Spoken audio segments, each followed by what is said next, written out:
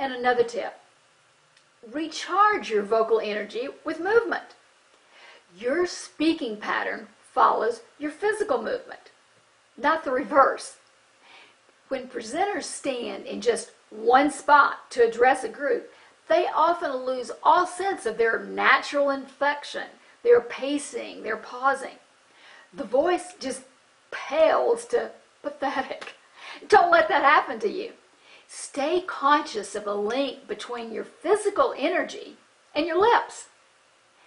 Make others feel your energy as you drive home a key point. Move. Walk to a different spot in the room to deliver a different point. Use your entire conference room as your platform. When appropriate, gesture with your entire body. Become your own prop when you need one. Use your hands. Animate your face. Get the blood flowing.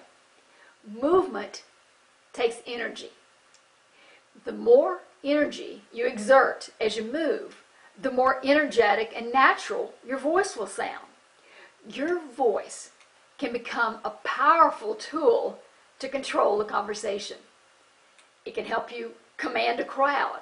It can help you communicate a culture. And ultimately, it can create a career.